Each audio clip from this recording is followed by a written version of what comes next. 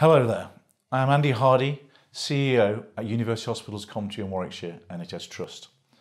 I'd just like to speak to you just for a few moments about the increasing climate challenge and what we at UHCW want to do to help that challenge.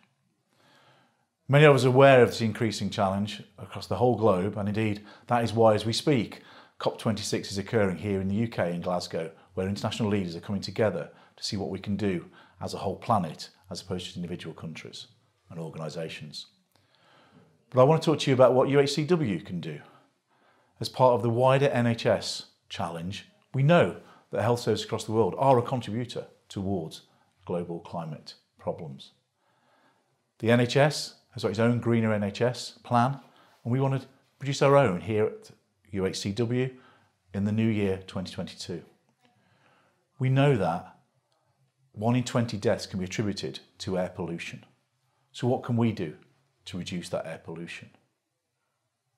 We want to set ourselves a target to be carbon neutral as an organisation by the year 2040, 10 years ahead of what the rest of the world as a whole is aiming to do.